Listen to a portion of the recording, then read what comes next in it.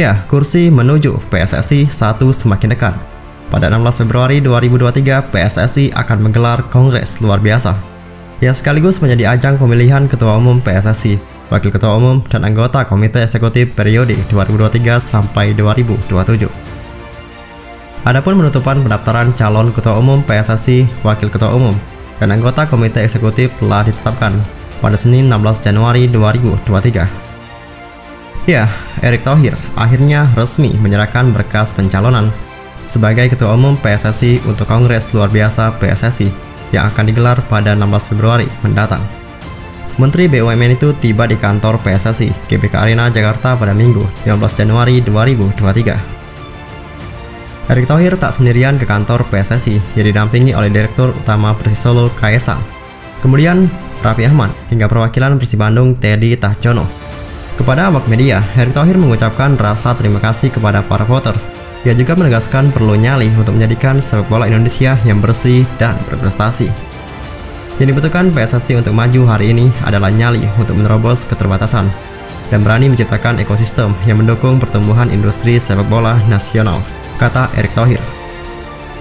Erick Thohir juga begitu percaya diri mampu mengubah sepak bola tanah air, meski ia menyadari tidak mudah untuk mewujudkannya. Erik juga menyatakan sudah waktunya sepak bola Indonesia untuk naik kelas.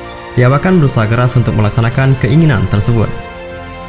Mencari 11 orang dari 270 juta rakyat Indonesia untuk membentuk timnas yang kompetitif tidak sulit jika semua hal itu kita benahi dengan benar, ucapnya. Tim nasional sebuah negara hanya sekuat kompetisi liganya. Liga yang kuat akan menghasilkan tim nasional yang kuat, liga lemah timnas lemah. Sekarang sudah saatnya sepak bola kita naik kelas, ucapnya menambahkan. Sejauh ini sudah ada dua orang yang bakal menjadi calon ketua umum PSSI. Selain Erick Thohir, Lanyala Mataliti yang mengembalikan formulir pendaftaran lebih dulu pada Jumat 13 Januari 2023. Adapun Kongres luar biasa buat memilih pengurus baru periode 2023 sampai 2027 digelar pada 16 Februari mendatang. Sampai sekarang belum ditentukan tempat untuk melangsungkan agenda tersebut. Dalam bisnis olahraga, Erick Thohir pernah memiliki saham di klub NBA yakni Philadelphia. Ia juga memiliki saham di klub MLS DC United. Erick Thohir kemudian melebarkan sayap ke sepak bola ketika membeli saham klub raksasa asal Italia, Inter Milan pada tahun 2013 yang lalu.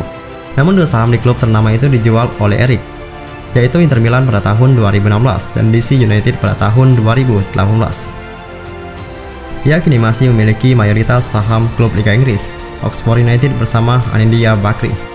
Di Liga Indonesia, Erik juga mempunyai saham Persis Solo dengan menggandeng putra Jokowi Kaisang. Ya, menurut saya Erik Thohir sangat cocok untuk menjadi ketua umum PSSI. Terlebih mantan presiden Inter Milan itu telah terbukti berkali-kali berhasil menyelamatkan sepak bola Indonesia dari berbagai kesulitan. Lantas, bagaimana menurut kalian?